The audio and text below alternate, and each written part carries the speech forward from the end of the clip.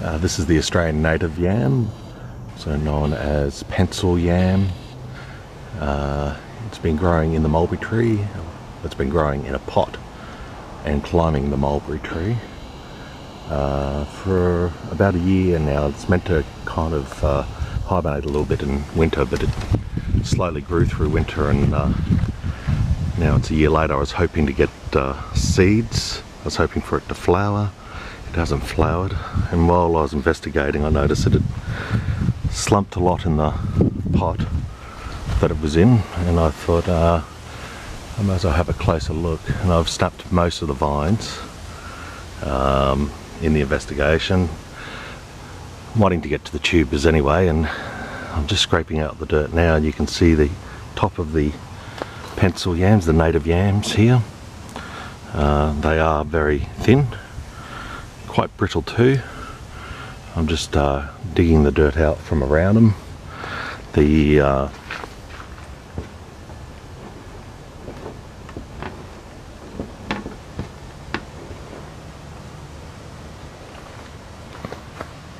here's the uh, part of the snapped tube bar this is part of the snapped tuber. Uh, I've had a bit of a bite on it.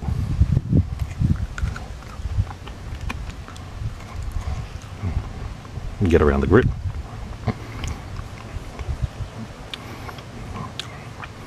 Hmm. That's actually nice. It's um, there's no real overpowering flavour at all. Um, there must be a slight bit of sweetness in it.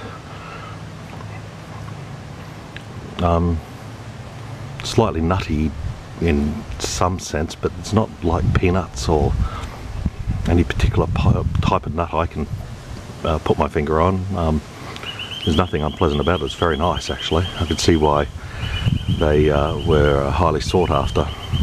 Uh, so here they are, uh, poking out. I've, as you see, I've scraped the dirt back. The soil line was down to about here, um, which is why I started harvesting and uh, I think I'd put about uh, six in here at the beginning, maybe seven.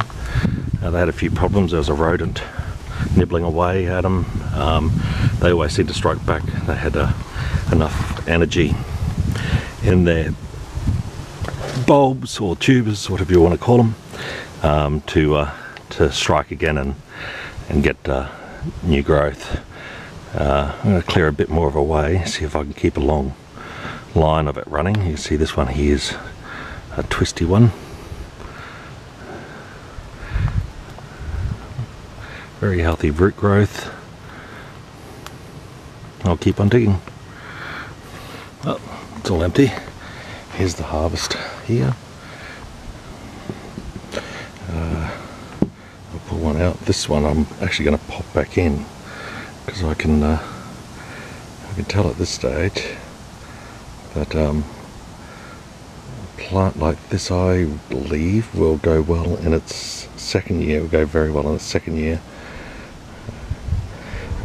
Uh, you see it's established uh, bulb network or its, its root network in, thickened up its bulb and now it's shooting off a whole lot of uh, new guys so that tells me to pop them back in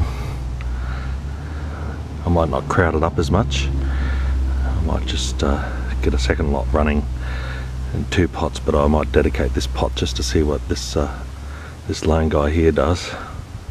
Probably won't help myself. I'll probably end up putting a another seedling in. Uh, it tastes great. It tastes very nice. Uh, it's just not a high yield. I don't think. I'd say after two years you probably get uh, a pretty impressive yield. But so this is going to be a long running one. You see any of these roots have uh, new growth. It can get pretty thick in, in, in places here. There's the freshly snapped uh, tuber. And uh, you see up here at the end too is growing new uh, new growth off the end of its old uh, tuber there. So there's that one, I'll pop back in, that guy. this one, and these. So all of them, all of them grew. Some of them grew faster than others. Uh,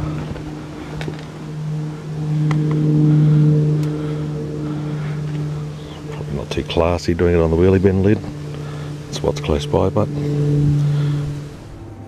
well, there it is. I've uh, thrown probably around uh, 50 grams of um, tuber back in, bulb, whatever it's called, back in, and uh, this is what's left.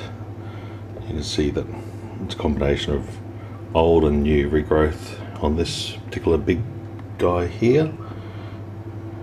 There we go. Uh, you can see where it's snapped off. I snapped it there for a taste. It actually does taste mildly of peanut. It's very, um, very non-intrusive taste. It's quite pleasant, slightly sweet, uh, crispy uh, flesh. Uh, can't say too much more about it other than very enjoyable. Uh, that's the same piece. It's just new growth coming off that there. I'm very tempted to put this back in the ground to get a whole lot more. Here's your standard looking pencil yam there.